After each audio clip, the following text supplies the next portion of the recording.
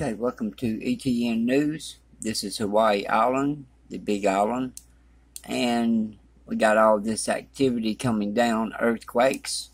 You can see over here on this side, we're start, still getting earthquake activity. We had it up in this area, and looks like some big towns or cities down there, but got one here, 2.5, 25.2 miles deep still going down toward the slump. And got these here, like I was telling you before, they're following the shelf. You can see them right here.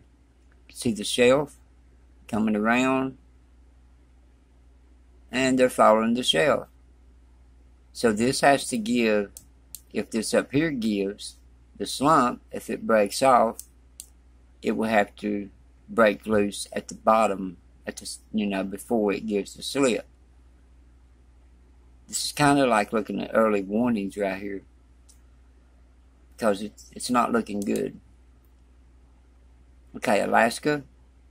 Not much going on at all. Let's see how many we have 2.5s and greater. Two small ones. Well, three. There's a 3.7, a 2.5, and a 3.4. That's pretty small. Alright, let's move on down. 2.6 Lemon, Washington. And 2.6 east southeast of Plush, Oregon. 2.7 miles deep. Then we got the 2.7 Mexico and a 2.8 north northeast of Van Horn, Texas, 4.1 miles deep. And this in New Mexico is 6.2 miles deep. Alright, it's not showing nothing over toward the east. But we got quite a bit of activity. Let's look, look at this. Back it up a little bit. Okay, with what activity we are seeing, and we still got activity around Grapevine, California, aftershocks after that large quake.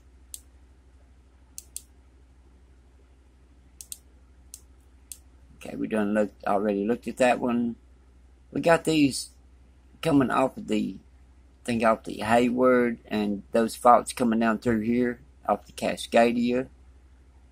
They don't enter into the San Andreas until we get on down in this area around Pinnacles. That's when they come in and on the San Andreas. And southeast of Gilroy, 1.2, 6.0 miles deep. I know these are small quakes, but just bear with me. We got to look at the small quakes sometimes and see what's going on. Alright. Nothing over toward the east. Let's look and see what Canada is reporting. And they're reporting shaking in Canada around Bowmanville. And then we got reported shaking.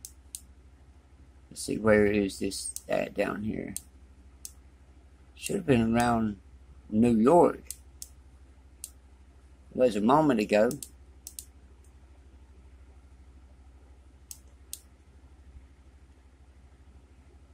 Okay, there it is.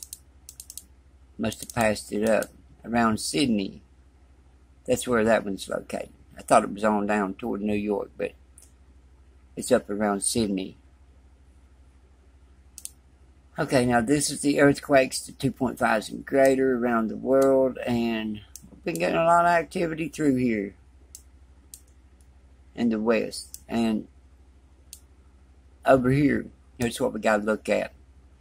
Alright, we looked at the small activity, see what was going on there, and we got this around Fiji region. It's a 5.2. Then we're looking at how deep they are. 380 point, I mean 82.0 miles deep. 382. Alright, this one is a 5.0, 342.7. Alright, we move on over to Indonesia. 5.0, 209.1 miles deep. And I don't think these was deep because I've done been over them. Yeah, this one here, 100.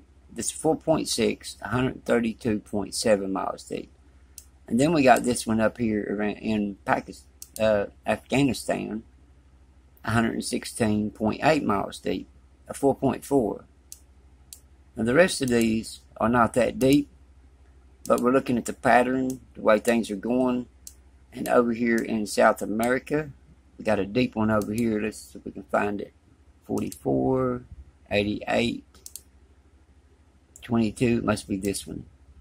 Now it's 62. Must already disappeared. Because 44 and, and 88, you know, that's deep, but not real deep. And a lot of people want to know is the deep quakes more harmful or is it the shallow quakes? The shallow quakes, they're closer to the surface. They're uh, closer to up toward your home and stuff. The deep quakes, it keeps them like a like a rumble. But you know, the, the shallow quakes is the ones that's more harmful. And another thing is I see some people that puts comments on the channel that uh, where they never felt a thing. It was right there where they was at, like a like a four, uh, three point four or something, or four point four, and they don't feel nothing. Well, there's a reason for that.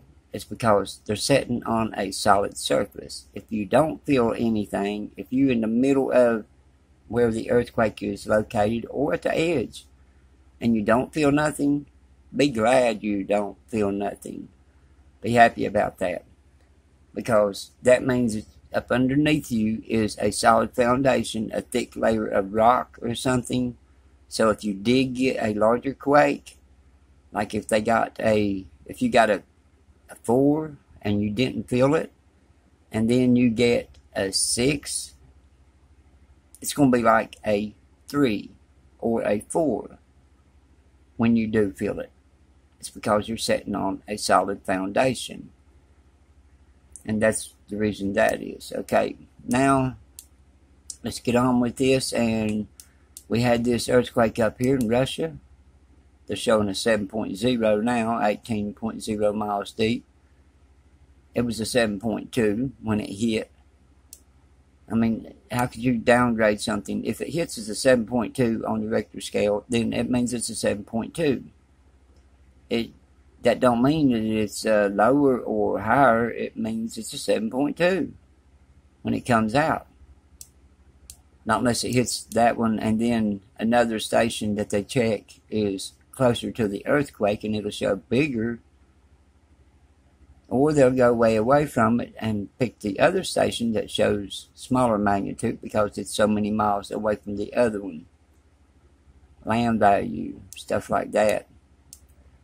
It can, you know, tourist, land value, it can mess it all up for the leaders and people.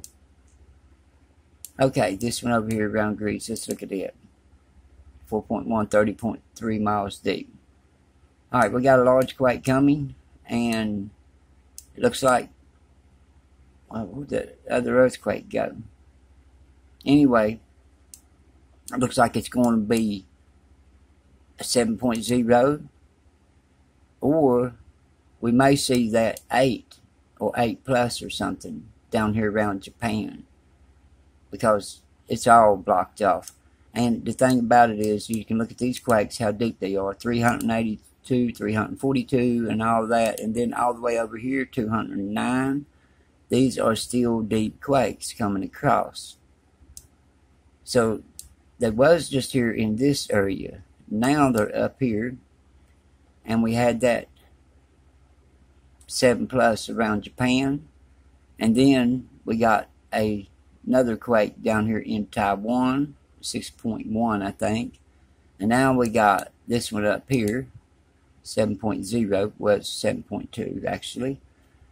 Okay, Japan, that is in danger, but now you, we got to look at this. We got to look at what we're looking at here. The Pacific plate is is got. If you look at the how one moves, the other one is moving faster than the North American plate. So this tail end here is pushing up toward Australia. this part here is pushing over this way. And we got all kinds of plates. I mean, several, several plates in the Pacific. All kinds of those going together, just like it does in the North American. It all went together as one continent. Just like North America, which we got several plates that puts North America together. Just the same as it is in the Pacific. It's all put together. So anything could give or, you know, try to separate or push against each other. Now Hawaii has been acting up. It's right in the middle of all this. But we're looking for 7.0 or greater in the next three to five days. Now, where we got this pressure and it's twisting, it is possible that it hits on our side down through here. It's very possible because right here is where we see the pressure building. And when that's how we can tell the quakes are coming. They won't let me see anything over here on this side. You can't look at the GOES 16. You can't look at the maps. You can't check the, this ground surface. It, it don't tell you nothing. Don't tell you soil temperatures. They won't let me into this. Only well, only ones that will let me in is over here in North America and I can see Hawaii good, Alaska, you know, North America, United States, more like it, and North America. You know, in Alaska, as you know, it's United States too, but it won't let me look over here, so I can't tell much. So I have to go by what I see on this side. The pressure is building, and Nova Scotia plates still under pressure, and it's causing around El Salvador and Guatemala, places like that, to be stressed. Okay, we're looking for a large quake. Be prepared for that large quake.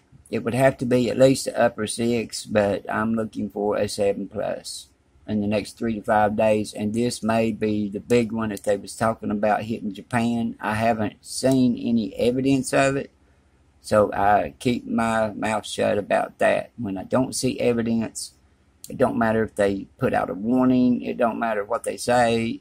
They said it's going to hit, you know, and this, this and that. I don't go by that. I go by what I see only. I don't go by what they say. So now I'm starting to see pressure building up. It could hit Japan. Or it could hit on down through here, you know, around the ring of fire, anywhere. But the way the continent is twisting toward New Zealand, you know, you can see how it roughs like this, like the Mid-Atlantic Ridge does, like it's spreading apart. But this way, it's pushing that way, the tail end. It's hard to understand, but once you get to understanding all this, the way everything's pushing, and when it pushes up against this part, over here, it's swaying toward this part because North America is coming north. You know, I don't forget how it went. I got I look at so much, but anyway, it's coming up toward the north in an angle, coming around, and that way. And this is pushing over that way. This is pushing over that way. So you got a lot of stress going on. Be prepared for a large quake. And down through here, we're getting ready to see some large quakes too. It could be threes, upper threes, fours, maybe fives, maybe even bigger. But when we see this pressure release, if you look tomorrow, just about every time you'll see small activity starting on the Cascadia where it's trying to release its pressure. It can go over toward the east. Once it hits the fault down through here, there's so many fault lines that fork off but when it's a large quake, like a seven point something, it can only throw off a four or three on certain fault lines, not unless you live on a fault that can hold large quakes. Some can't hold over a one. So if you live in one of those areas, you don't have much to worry about except for tsunami coming in if something happens. All right, I'll see you all in the next updates. Everybody stay safe, and we'll be watching three to five days.